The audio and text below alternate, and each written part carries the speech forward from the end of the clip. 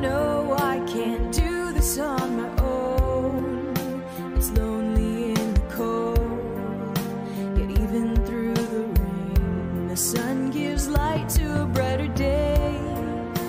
And as the seasons change, I'll find a way with grace to a hope that lasts forever and put the pieces together. Welcome to the desert. You know, for the last uh, month and a half, two months, it's gone anywhere from like 95 to 110. Pretty hot. So you notice I'm wearing my uh,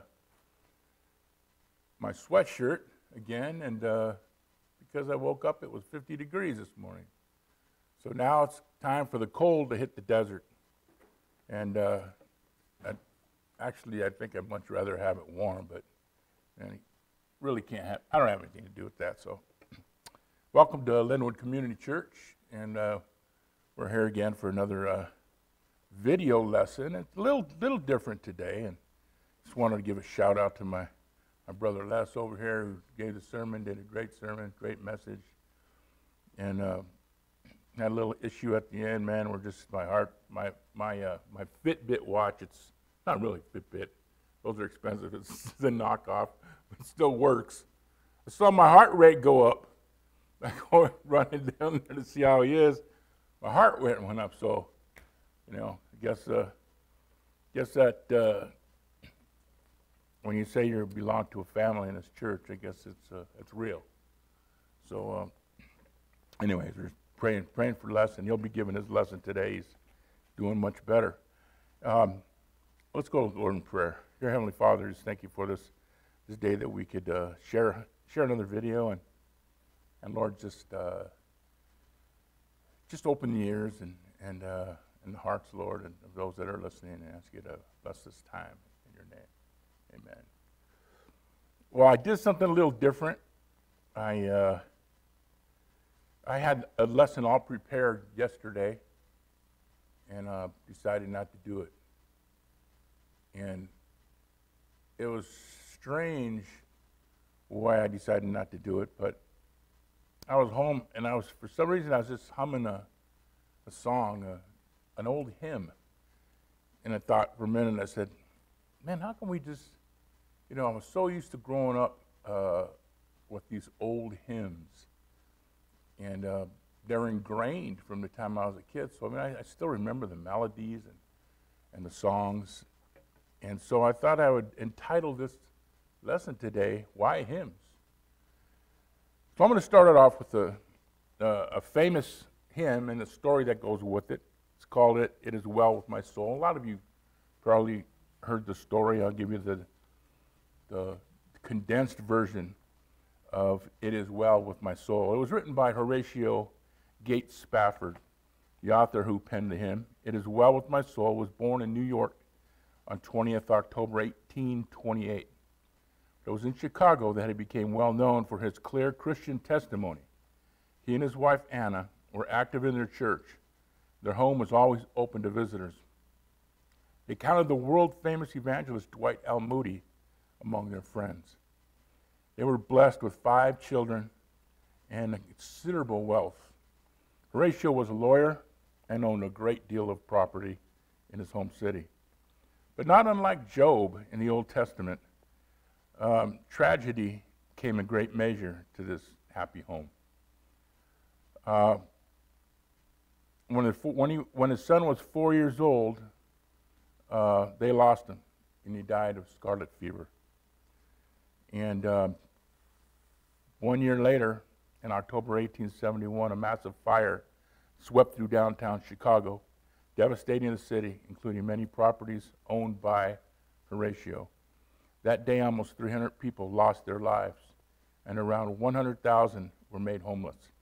Despite their own substantial financial loss, the Spaffords sought to demonstrate the love of Christ by assisting those who were grief stricken and in great need.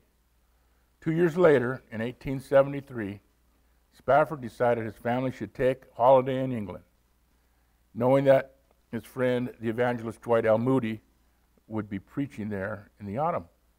Horatio was delayed because of business, sent his family ahead.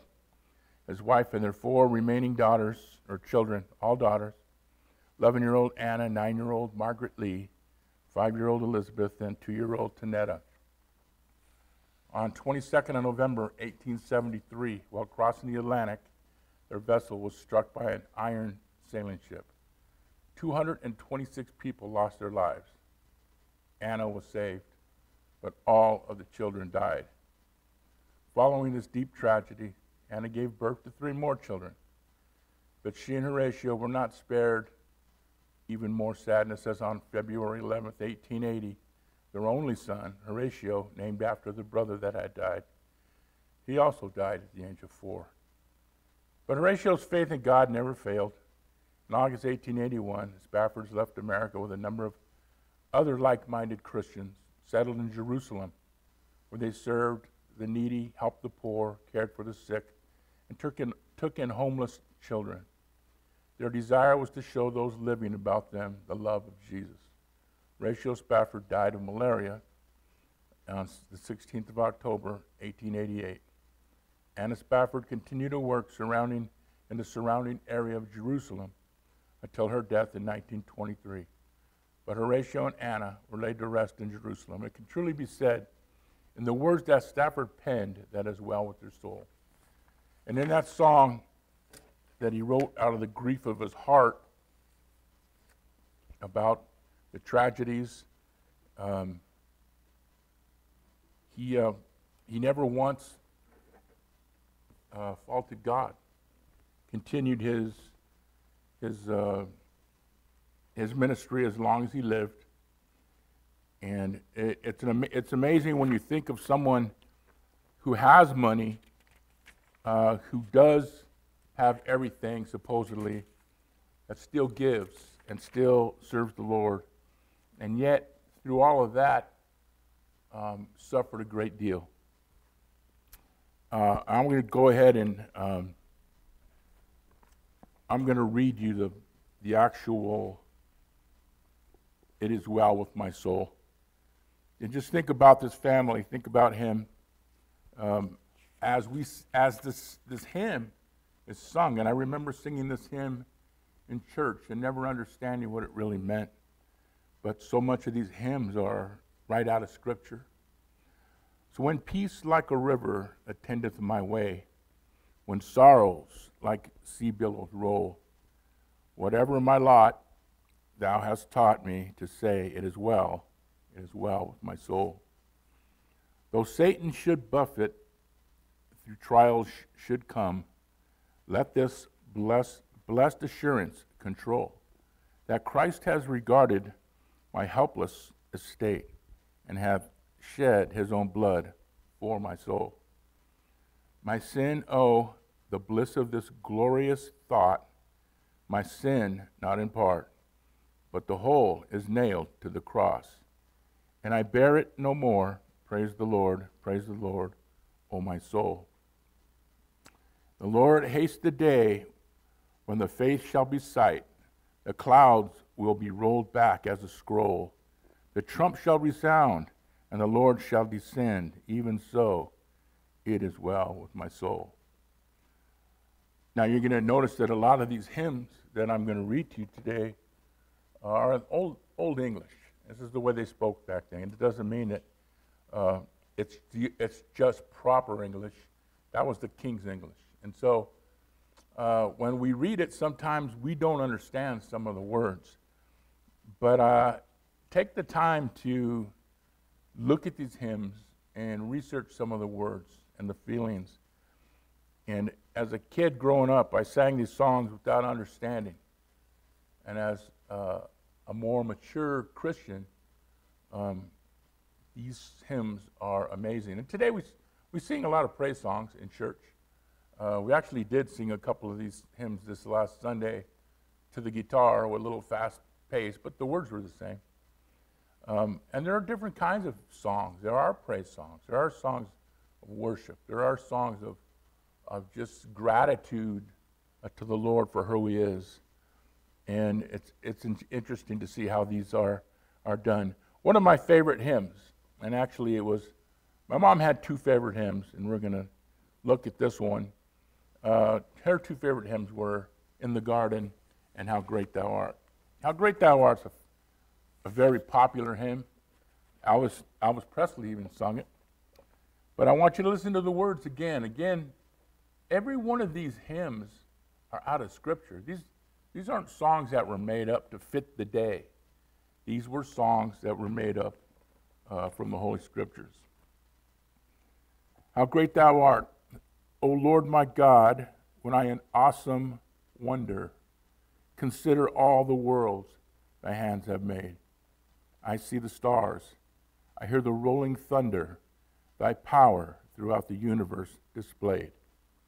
Then sings my soul, my Savior God, to thee, How great thou art, how great thou art.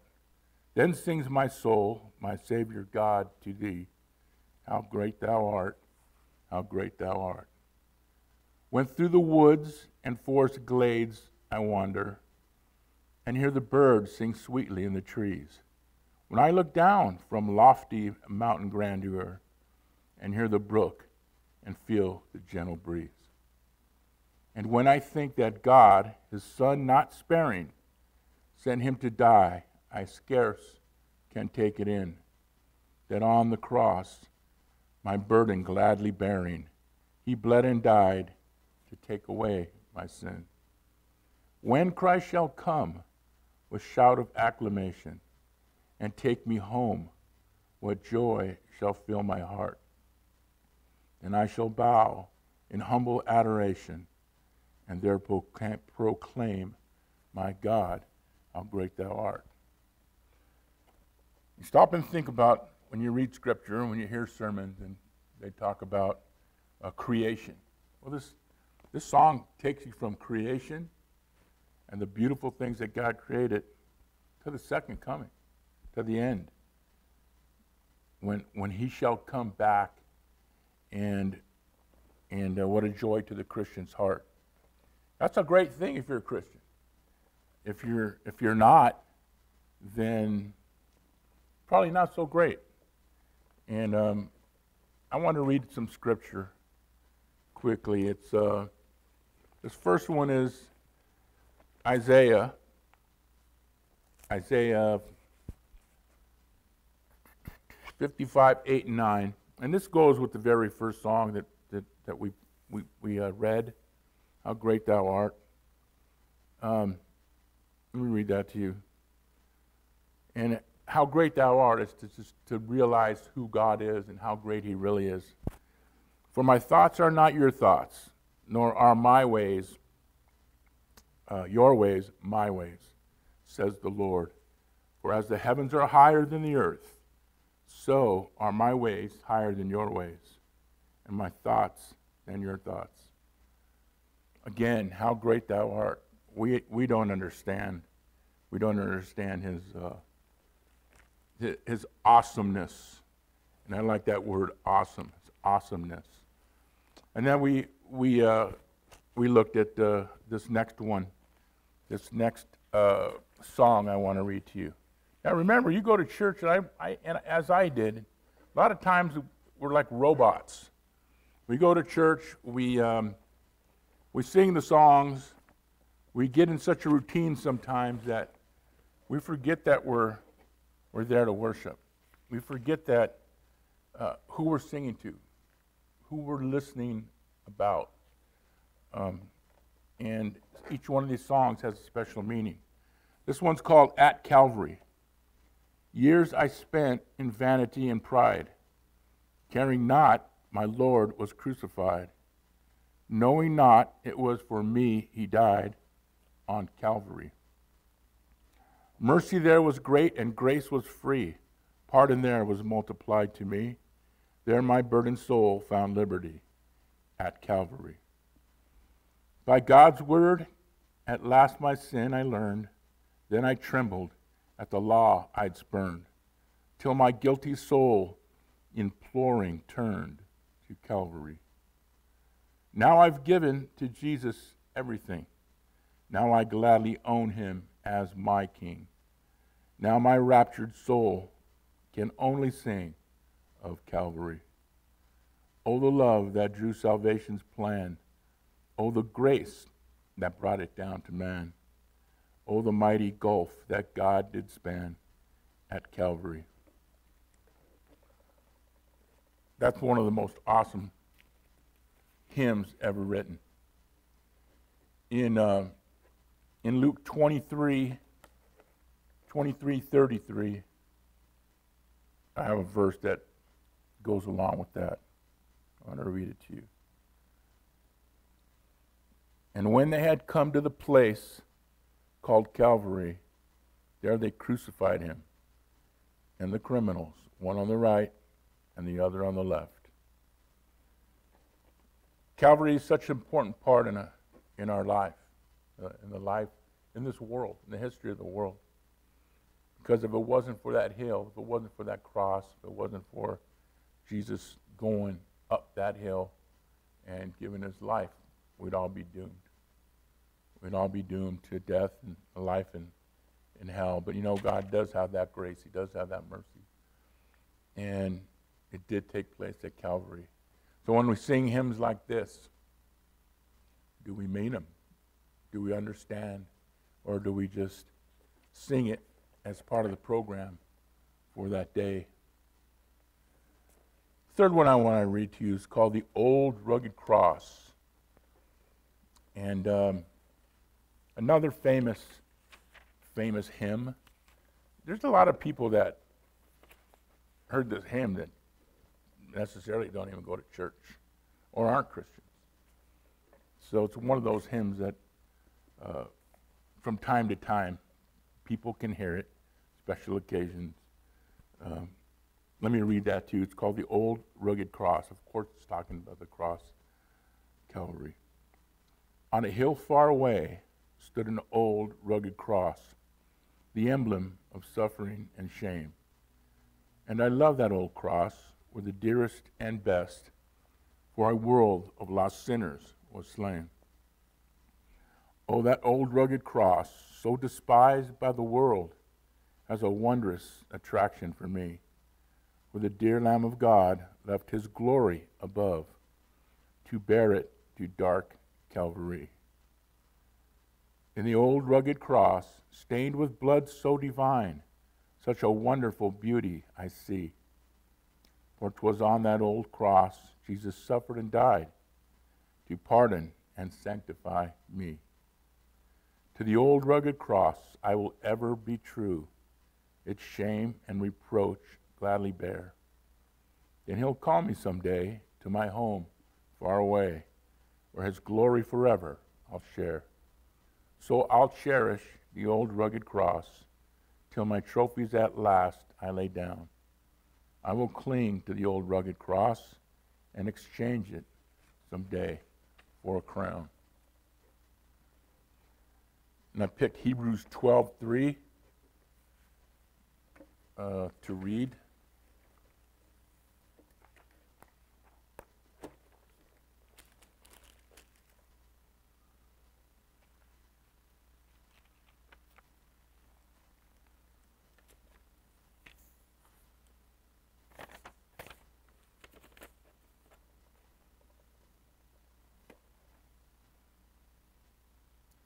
Looking unto Jesus,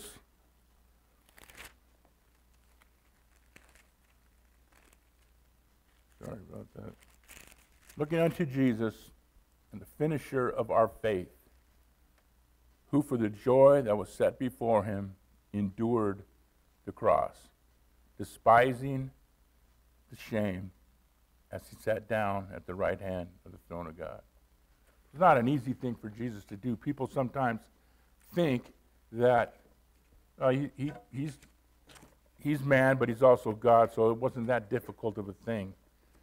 The shame that he had to endure, the shame that people don't realize, setting aside that great pain that he went through. And again, this is documented history. I'm not telling you something that's not right out of history books.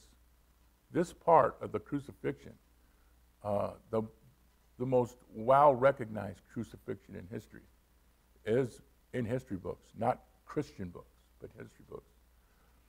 And he made that long walk up the hill carrying the cross, uh, bleeding, uh, skin raw, uh, being spit on, being despised by the world. The shame that he carried, that shame wasn't his. He had nothing to be ashamed of. That shame was ours. And as he went up to that cross, uh, the old rugged cross, um, he gave his life for us. So when I sing these hymns and when I read some of these hymns now, I have to ask God to, you know, forgive me for my uh, ignorance when I was younger, that for my routine to go to church. Sometimes we go to church and we, we almost feel it's a routine uh, that you go through. You get a bulletin and you read it, and you boom, boom, boom, boom, boom, you go right down.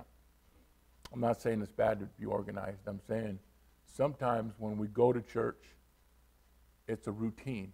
It's, it's, a, it's a show. It's not here. I'm not, I'm not saying that at my church, but I, I see churches that are laid with gold and churches that have the entertainment section where their praise team has cut many albums and many songs, and uh, they're well known, and and uh, and they put on a great show that day.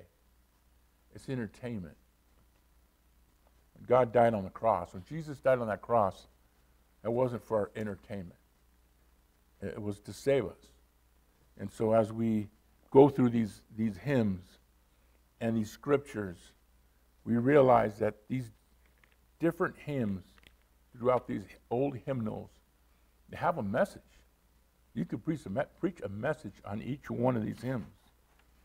And I often thought, I said, why, why didn't I understand? Why, why did, because it was made routine for me. It's like the stories when I was in Sunday school growing up. We talked a little bit about that before, Tim and I, about, you know what, I, I just didn't realize um, the detail that's left out when you're a kid, probably because it's, it's gruesome, you know, um, the story of David. I knew the story of David and Goliath. I knew that David picked up those stones, got a slingshot, hit him in the head. I knew the story and fell to the ground, and but I didn't know the detail. I didn't know that that kid picked up a sword and chopped the guy's head off. I'm sure they didn't want to tell me that when I was seven years old. They didn't want to tell me, uh, you know, you, we're going to talk about Samson today, but you know he was picking up hookers right and left. I'm sure you're not going to tell a seven-year-old uh, Samson's lifestyle.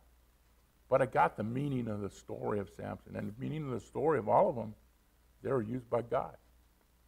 And as we grow and as we read and as we study, we realize there was a lot more detail that couldn't be shared because we, we weren't ready for it.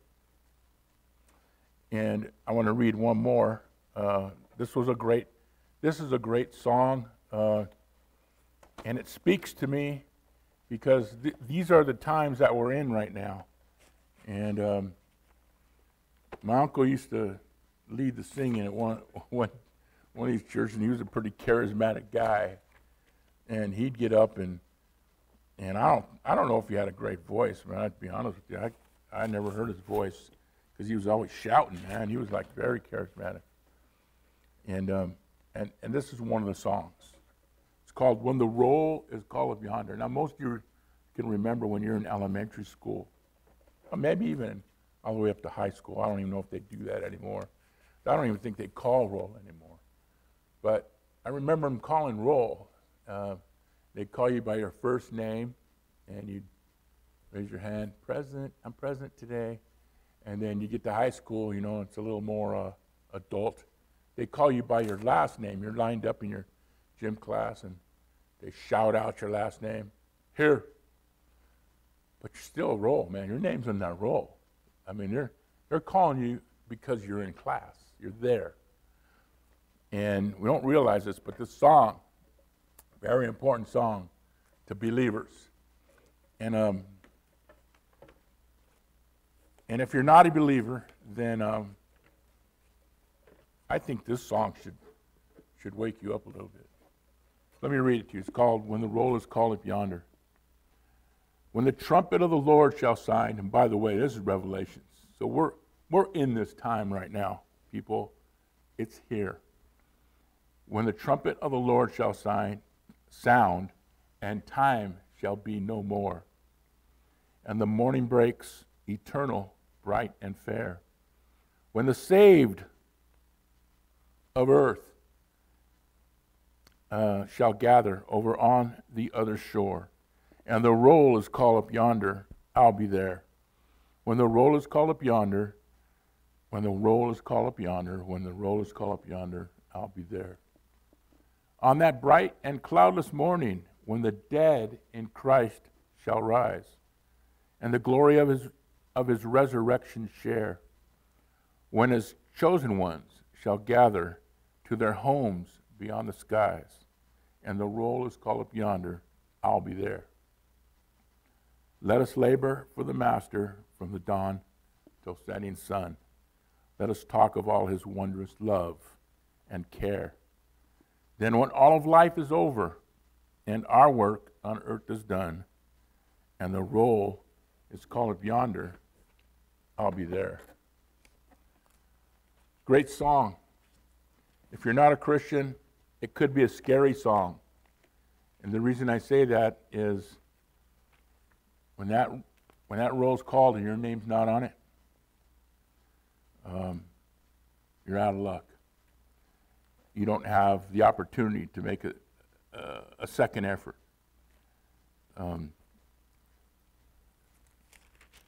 I truly, truly believe that my name's on that roll. It's on that roll. Uh, I'm going to read this passage to you. And it's, it's not long, but it, it's the, it's the day of the Lord. It's the day of the Lord. And um, you can find it in, well, it's in, the, it's in the fifth chapter of Thessalonians. But concerning the times and the seasons, brethren, you have no need that I should write to you. This is Paul writing to the Thessalonians.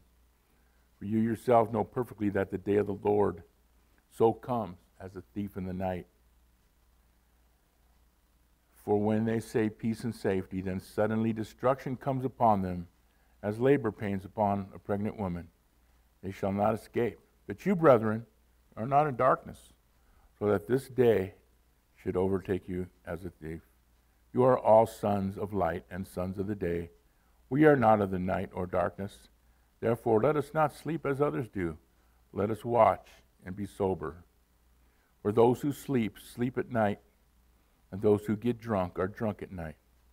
Let us, who are of the day, be sober, putting on the breastplate of faith and love, the helmet of hope and salvation. For God did not appoint us to wrath, but to obtain salvation through the Lord Jesus Christ, who died for us, that whether we're awake or asleep, we should live together with him. Thought it's appropriate when I started reading and going through all these hymns, and I went I must have went through 20 and I got to tell you, I felt pretty good going through these hymns and just remembering uh, the songs and the words and the actual music to these songs. And, um, and every single one, um, down to the songs that were dedicated to America, God Bless America, down to the patriotic songs, um, y'all had a message. Message was clear. Message was uh, a, war- a, warning. The message was a gift. Uh, the message was for everyone uh, that's ever walked the face of this earth. And it's been the same for everybody. So I got a question. I'm closing with this question. And I hope that you pick up, and this is just an ordinary uh, hymn, hymnal, an old hymnal. The songs are most of them are written in 1800s, 1900. Uh, you probably recognize a lot of them because even though the music's changed, the words are the same in a lot. And um, I hope you pick up one of those old hymnals and read through them because there's a message on every page. Uh, and it's always the same message. The message was taken out of, out of Scripture, the Word of God. So I'm going to close with an important question. Where will you be when heaven's roll is called? My brother from another mother, Pete Tuiasosopo, always ends his global prayer chain with an invitation. And I think it's important uh, because I could share the Word of God with you. I could um, get up and walk away and say, oh, I did my job. Uh, because the Holy Spirit's really the one that, that does the work. But I want you to know that um, doesn't matter how smart you are, how well you know the Bible. It doesn't matter if you're a, a great student. None of that matters. Because this Bible was written for everybody. It wasn't written to the theologians. It wasn't written to the scholars. It was written to the world. It's written to God's people so that they can understand it and grasp it and realize that it's very simple. After everything that's studied in this Bible comes down to simply this it comes down to saying, Do you believe that Jesus Christ died on the cross for your sins? And do you accept him as your personal Savior? It's as simple as saying, Lord, forgive me for what I'm doing, what I've done, and probably what I'm going to do. Uh, but come into my heart. Be my personal Savior. Put me on that roll so that when the end time comes, my name's called on that roll. And, and we're so fortunate in this country right now. We got so many chances, so many second chances to do this. Uh, this Sunday, I read the little insert in our in our bulletin, and and um, I was crushed, man. I mean, I I was crushed because so fortunate to be in America. As stupid as we've become, um, 1,400 people in uh, Northern Africa killed for their faith, killed for preaching gospel.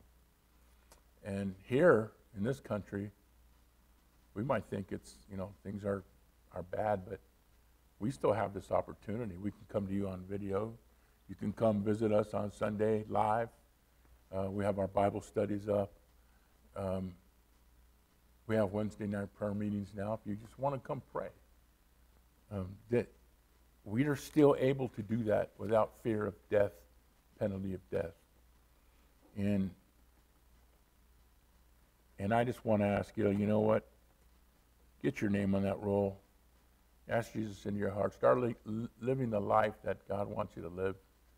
Because the bottom line is, at, at, when it is all over, and COVID's already taken many lives. How many of those people were Christians? How many people didn't believe? Because it's over for them. And, when we take our last breath, there's no second chance. So that's why I ask you, you have the opportunity at this moment um, to let them into your life. And it's as simple as that. Don't, don't be ashamed how can you be ashamed of the person that created this world? it's amazing to me that people are ashamed to even speak his name to people, and he created each and every one of us. So I'm going to leave you with that. Pray that you will um, look into your own heart and, and ask Jesus to come in and be your Savior. Closing prayer. Dear Heavenly Father, thank you again for time to share. Share some some songs out of your hymns, out of your the old. They call them the old hymns, but it doesn't it doesn't get any older than the Alpha and the Omega, the beginning and the end. You've you've always been there. The music might be different, the instruments might be different, but those words are the same. Words of joy, words of praise, uh, words of thanks and when we come to church and we worship you and we honor you and, and, and, our, and our church family, Lord, I just ask you not to make it routine for us different every Sunday, something different every Sunday. Speak to our hearts every Sunday, whether it's through song, through prayer, or through the message given that day. We ask that you open your word to us, and we thank you for this in your name. Amen. The beating of my heart is deafening, but I'm still listening in the silence after the storm voice will bring me